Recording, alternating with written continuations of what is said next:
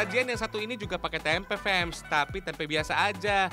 Yang bikin luar biasa, rasa dan suasana yang mendukung. Sajian rumahan ala warga Desa Conto, Kecamatan Bulukerto, Kabupaten Wonogiri ini, fams, punya cita rasa pedas gurih yang nikmat banget. Kombinasi antara tahu, tempe, dan krecek sapi semakin mantap dengan pedasnya kuah santan.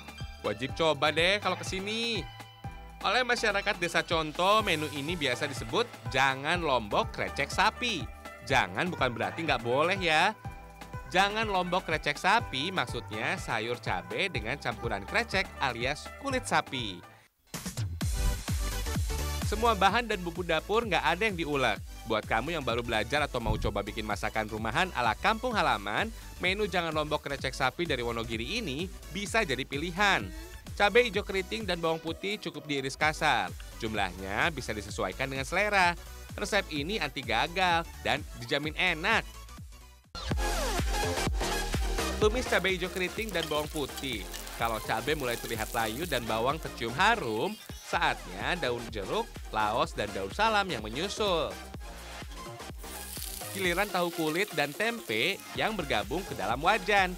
Berikutnya, potongan krecek alias kulit sapi. Krecek alias kulit sapi sebenarnya udah dimasak beberapa kali, jadi bisa dibilang sudah setengah matang.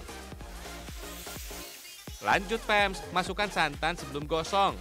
Menu jangan lombok, kuahnya harus lebih banjir. Santan yang dipakai nggak terlalu kental, tapi gurih tetap terasa. Sekitar 20 menitan dimasak, jangan lombok krecek sapi, udah bisa dinikmati.